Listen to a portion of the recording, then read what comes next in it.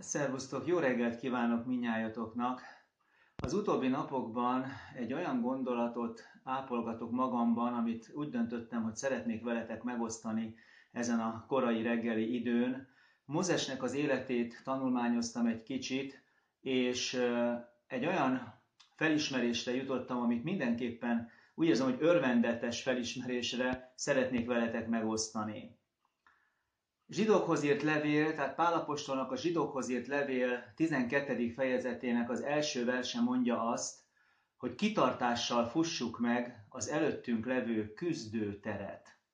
Tehát nem csak tér van a mi életünkben, hanem küzdő térnek mondja a Szentírás, ami életünknek a terét, amiben mozoghatunk, amiben dolgozhatunk, amiben döntéseket hozhatunk.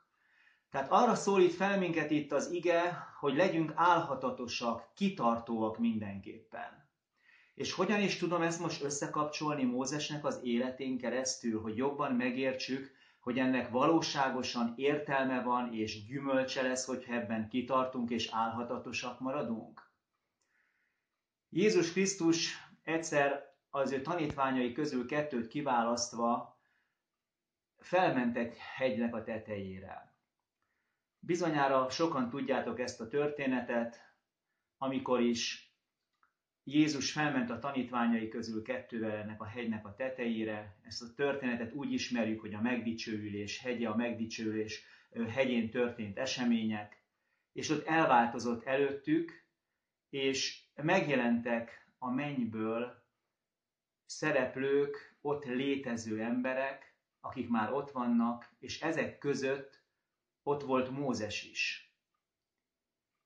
És amikor az ember ebbe így belegondol, hogy Mózesnek az élete hogyan kezdődött, milyen küzdelmei voltak, milyen döntéseket kellett hozni, a Szentírás természetesen mindenről beszámol, Mózes életének árnyoldalairól is, küzdelmének eredményeiről is.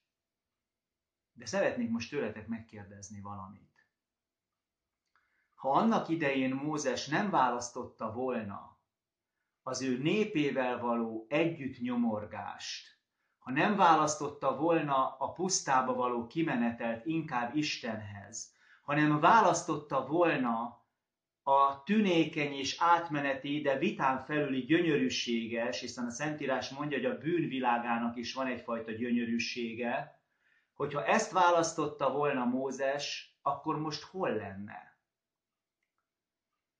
Mert az evangéliumokban azt olvassuk, hogy Mózes már a mennyben van. Benne van, azokban, benne van annak a családnak a tagjai sorában, akik közül már három szemét név szerint ismerünk a Szentírásból, hogy már a mennyben vannak. Mózes, Illés és Énok. És Mózes már a mennyben van.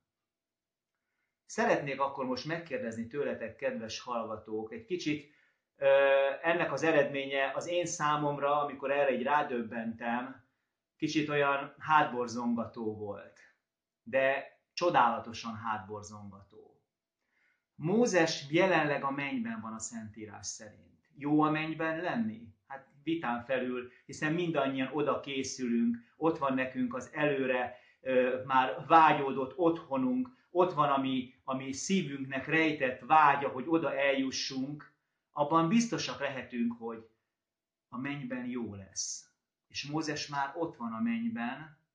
Az a kérdés, hogy Pálapostól szavait idézve, ő kitartóan és álhatatosan futotta meg az előtte levő küzdőtért, és ezért juthatott oda.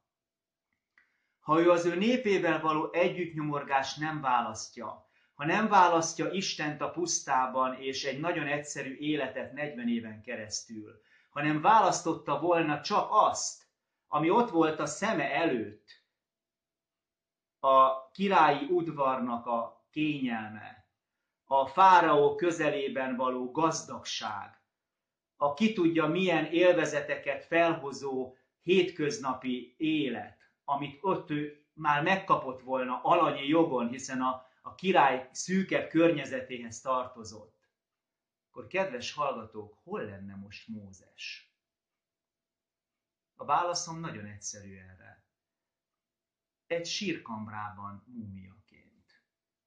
Mózes, ha a fáraó udvarát választja, és nem az Isten népével való együttnyomorgást, ami álhatatosságot és kitartást igényel tőle, akkor jelen pillanatban is Mózes egy egyiptomi sírkamrában lenne, mint múmia. Azért ez nagy kontaszt, nem, kedves hallgatók? Múmiaként egy sírban, vagy a mennyben már Isten dicsőségét szemlélni, és Isten közelében lenni, és hitem szerint előkészíteni már esetleg azt a hatalmas ünnepet, ami majd a megváltottakat majd fogadja a bűn történelmének lezárulása után. Múmiaként egy sírkamrában.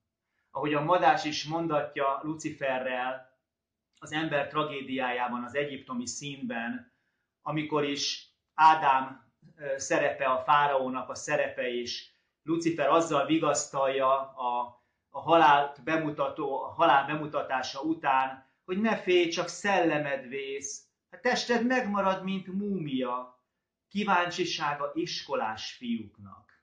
Ugye milyen érdekesen mondja ezt Madás, hogy múzeumokban mutatják be az egyiptomi leleteket, mumiáknak, leleteket, mumifikálódott tetemeket. Kíváncsisága iskolás fiúknak. Lehet, hogy esetleg tényleg kiállították volna. Az Egyiptomban levő élet az a halált eredményezte volna neki és az elveszést. Az Isten népével való együttnyomorgás, a nehezebb útnak a vállalása, ahogyan mondja Jézus Krisztus, hogy ne a széles utat kövessétek, amelyre a tömegek mennek, amely a halálba visz, hanem a keskeny utat kövessétek, amely lehet, hogy meredekebb, lehet, hogy nehezebb, lehet, hogy néha felsérti a talpunkat, lehet, hogy néha nehézségeket okoz, de Istennel mindent le tudunk győzni, kedves hallgatók. Ezért én ma ezen a kora reggeli gondolat foszlányban arra kérlek ti enneteket is, és biztatom magamat is, hogy álhatatosan fussuk meg az előttünk levő küzdőtért. Mert akkor nem múmiák leszünk az örökké valóságra, hanem Isten gyermekei életben, erőben, boldogságban és egészségben. Legyen a Mózes példája, ami életünknek egy hatalmas nagy gondolata és figyelmeztetése hogy őt ebben a kitartásban és álhatatosságban nagyon-nagyon érdemes követni. Köszönöm szépen, hogy meghallgattatok, legyen nagyon szép a mai napotok. Szervusztok!